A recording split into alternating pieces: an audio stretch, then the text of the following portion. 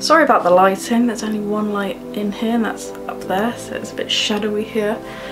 Uh, but anyway, welcome back to the Chuckster. I know it's been nearly a year, okay, I know, and I'll explain why and everything, and I'll explain everything that's happened since, um, because trust me, a lot has happened, like a fuck ton. Firstly, today's video is basically I'm going to be trying to create a skull look. I know it's past Halloween, I don't care, this is not a Halloween look, this is me practicing because I'm kind of a trainee makeup artist right now and I really want to try doing a skull look because I haven't done that before. So yeah, let's get comfortable and get into it. So firstly, I'd like to address that um, Cam and I are no longer together. I won't get into details why or anything, but yeah, I've moved out. I'm, I, am i am not at home anymore. I am currently living here and here is uh, in Chichester uh, in student accommodation because I have gone back to college to learn to be a makeup artist and I moved out here for it so I'm actually by myself now. Yeah. I think those are the two major things that's that's changed since you last saw me so I will now get straight into the skull look. So firstly, I'm going to be using this Kryolan Aqua palette, as you can see here. And I'm going to be using these brushes. I don't know where they're from though. Funky Foxes. Funky Foxes brushes.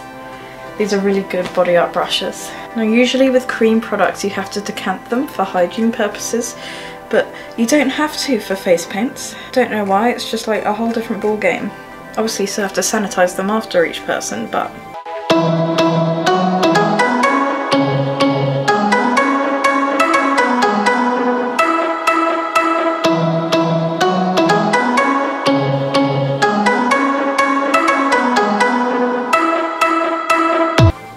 forgot a very important step. I was going to block out my eyebrows since it's, it's a bit too late for that. So I'm just going to paint over them.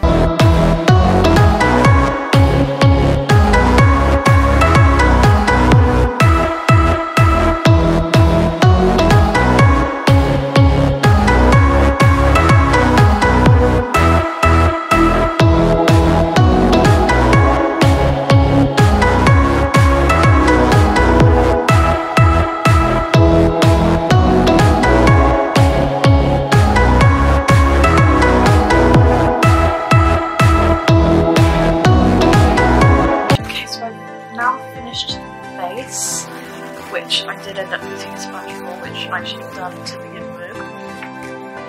This small brush and some black, and I'm just going to draw out like the eye sockets, the mouth, the cheekbones, that type of thing.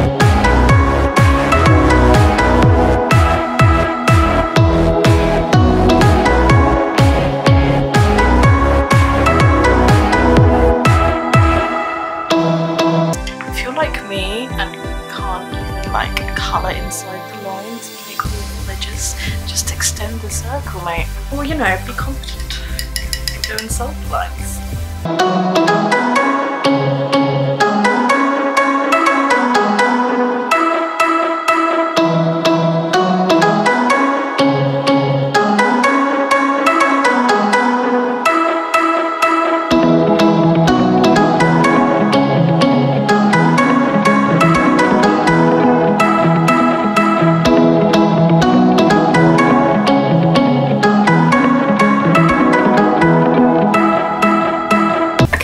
lines. that's the eyes done. Next, I'm gonna do the nose because I'm scared to go onto the cheeks because that's like proper artist drawing, which I can't do.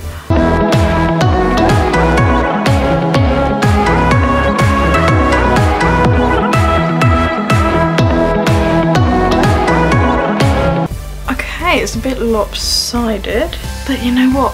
Skeletons are all unique say it together now. this is how I justify my work.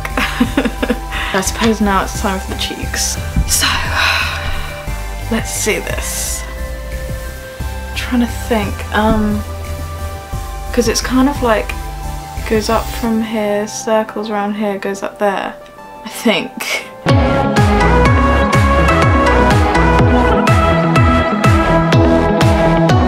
By the way, new rule on my channel, right? I'm trying not to swear. You can see it works well just then, but I want this to be professional, you know? Maybe I should have done the teeth detail first because I wanted the teeth to be extended, but I can't if that's in the way. This is too big, isn't it? Oh, I'm confused. And like, here's where the teeth are. There's like not enough space. so then I'm just gonna outline where each teeth is and then I'll put white in the middle. Then I'll do some shading around it. All the shading and detail's gonna come after. Okay, so now I've got the teeth detail in. What I'm gonna do is take some yellow and some brown and some orange and just kind of make the teeth look a bit rotten. And for this I'm going to be using my Kryolan Bruise Wheel.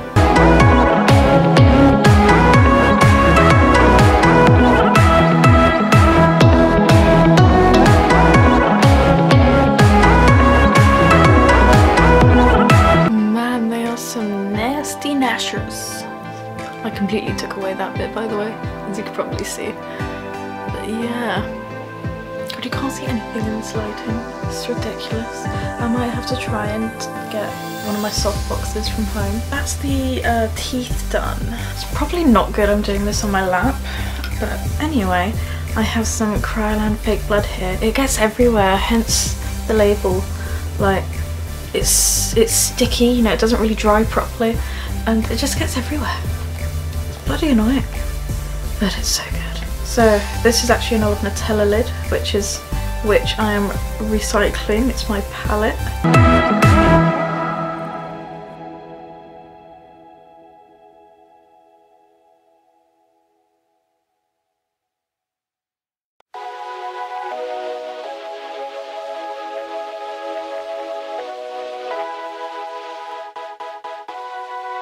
Okay, so I've got a lot of fake blood on the mouth now did go in my mouth at one point, which made the teeth look awesome, but doesn't taste that good.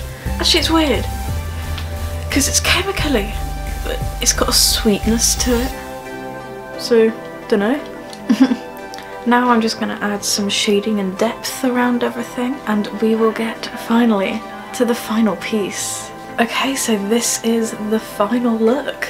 I would do like a cinematic of it, but the lighting is so bad, I know you can't see it. That is a bit like too square for my liking. Corners, it's like it's, it's, it's, a bit too neat. Actually that's the problem I found with a lot of my work, like with blood and stuff. I'm far too neat and precise. I need to just let loose. uh, but yeah, I've done the shading and this is the final look. Time well spent. I'll leave some uh, like final pictures up after so you can see it in better lighting because my god this is awful. uh, anyway, if you guys like this be sure to give it a like. you can tell it's been a year since I've done YouTube. Um, but yeah, I'm, I'm turning this channel into a kind of like portfolio for my makeup. Um, yeah, kind of thing. Uh, and I'm back baby.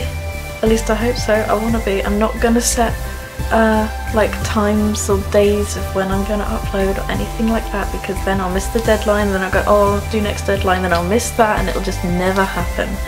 It'll be willy-nilly when I feel like it. Yeah good. Except it won't be nine months apart like this one has been.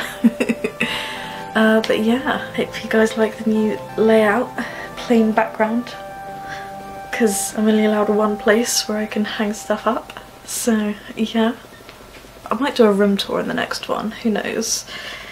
Leave a like if you want that. Um, yeah, cheesy wave guys. Subscribe.